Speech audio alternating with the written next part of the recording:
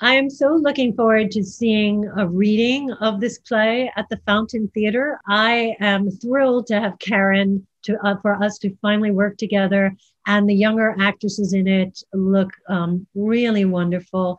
So to hear new voices in the play is very exciting to me. It was initially produced at Ensemble Studio Theater in their one-act marathon of plays.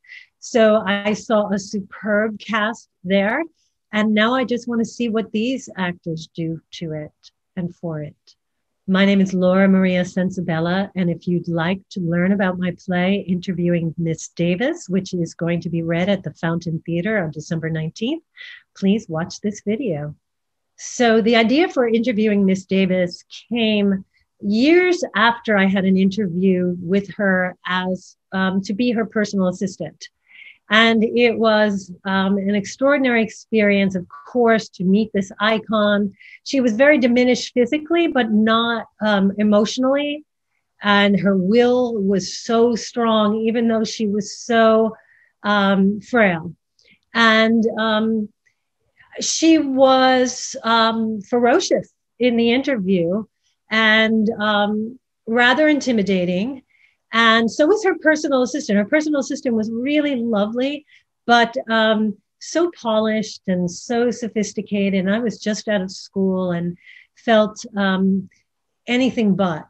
And um, so I had this experience, which I tucked away because it had been a very profound experience. And then years later, I was at an artist colony at the Virginia Center for the Creative Arts, and I was telling the story of the interview process at a dinner table and making everyone laugh. And um, a bunch of them said to me, You have to write it as a play.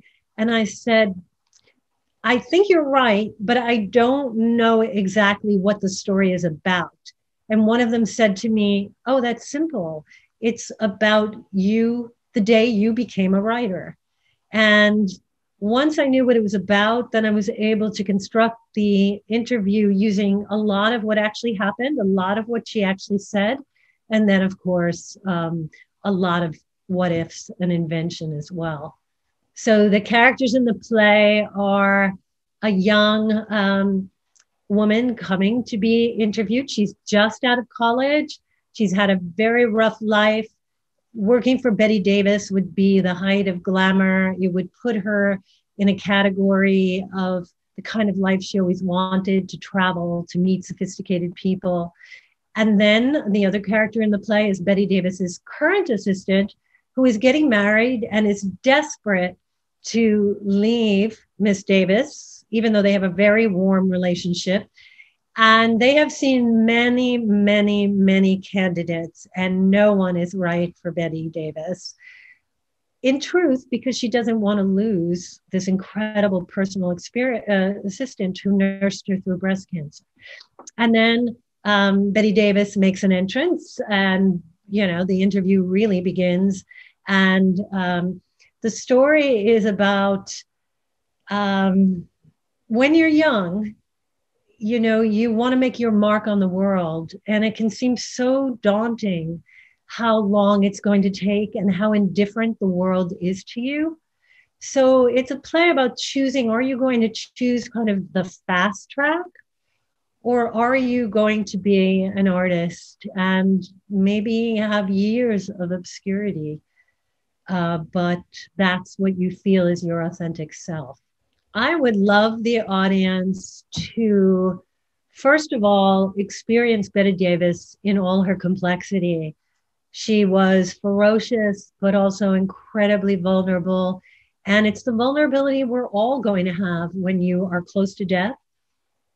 And um, also, I think she was very, very lonely at that point in time. And so I would like an audience to both be horrified by, by her behavior and also understand it. And then um, there's a lot in the play about mothers because both of the young women are Bette Davis would be a kind of surrogate mother to the new candidate and has already been to the assistant. So it's a play, even though it's not, they're not blood mothers and daughters, it is a play about mothers and daughters and what will you give up. Also, Bette Davis at this particular time was about to um, read the book that her daughter had written about her. And she knew her daughter BD, and she knew it was not a flattering portrait. And she was really terrified by that.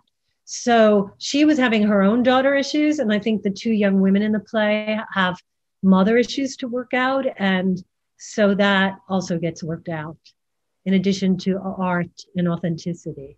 I'm Laura Maria Censabella, and if you enjoyed this conversation, I hope you'll come watch the play Interviewing Miss Davis on December 19th. I will be there, and I look forward to talking with the audience afterwards.